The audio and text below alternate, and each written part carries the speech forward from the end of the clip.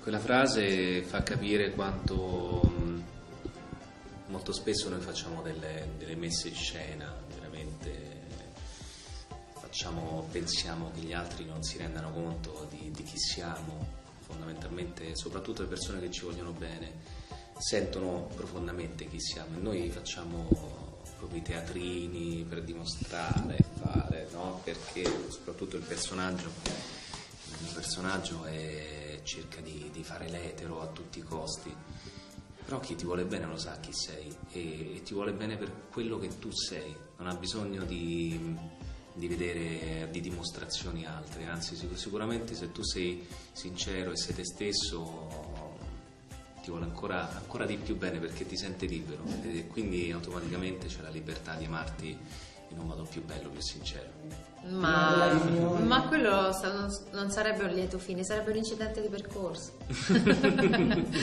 perché, perché il, fatto, il, fatto, assodato è che i loro gusti sessuali sono totalmente opposti. È chiaro che lei si innamora di un uomo fisicamente bello, prestante, affascinante, poi però di più si innamora eh, poi eh, avendo come dire, appreso che è omosessuale di più si innamora di, di, ciò che lui le offre. Lui le offre molto di più del suo aspetto fisico. Lui le offre sostegno le offre amore, le offre amicizia le offre complicità anche nell'inganno nella commedia.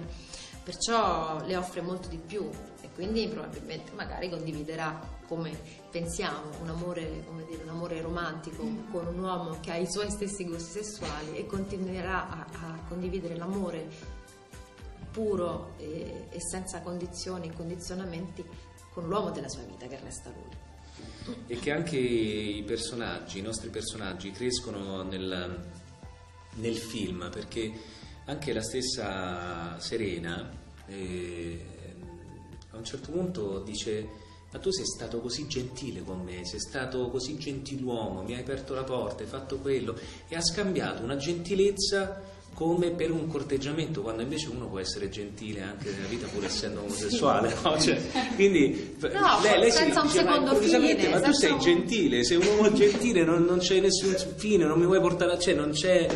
E, e questo non apre gli occhi anche a Serena. Non era una galanteria votata alla... No, esatto, era semplicemente una galanteria.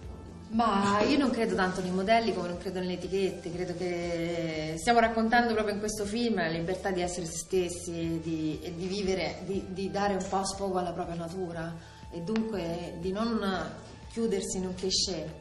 Perciò il modello ideale è un modello personale. Eh, chiaro, no, sì, è un modello personale. Il mio modello è chiaramente il modello dell'eroina, della donna coraggiosa, della donna che riesce a far tutto, della donna che riesce a lavorare, della donna che però riesce ad essere dolce, la donna che è tutto. Eh, la donna è tutto. e, e, forse eh, è difficile, come dire, creare un modello, avere in mente un modello, perché creare un modello credere come dire, in un modello, cioè avere un ideale sì, ma come dire, creare dei modelli significa anche mm. delle, dare anche delle etichette, che è quello da cui vogliamo proprio scollarci.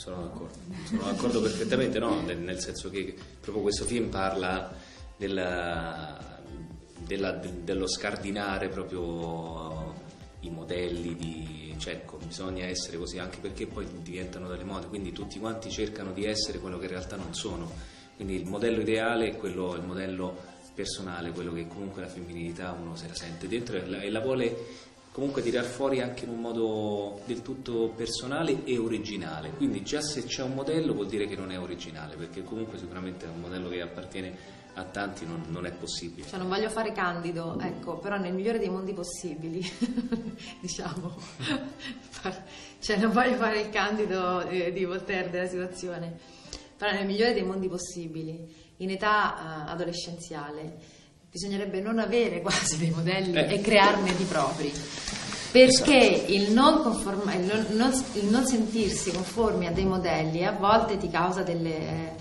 eh, delle ansie, delle difficoltà, eh, ci si sente... Dei confronti eh, con quel modello, certo. Beh, proprio questa la domanda era proprio provocatoria in questo senso. Sì, sì, l'ideale... Barbie, allora tutte le certo, l'ideale sarebbe proprio che, cioè, mi piacerebbe che appunto io stessa da adolescente assolutamente tendevo a dei modelli e mi sentivo, ci si sente inadeguati sempre, ma no, ci si sente inadeguati da adolescenti come ci si sente inadeguati da adulti. Che poi ci sono i e invece grandi... l'ideale sarebbe, sarebbe, proprio cercare di, eh, come dire, sostenere le proprie, cioè riconoscere per tempo le proprie qualità. Purtroppo, purtroppo la saggezza arriva tardi e invece la, la vita ideale sarebbe quella eh, rappresentata in quel film Benjamin Button, cioè, tornare indietro. L'ideale sarebbe quello, perché si arriverebbe nell'adolescenza con una, con una consapevolezza totale e quindi una grande preparazione per viversi gli anni più forti, gli anni di maggiore forza anche fisica, no? gli anni migliori con una consapevolezza eh, che purtroppo si raggiunge soltanto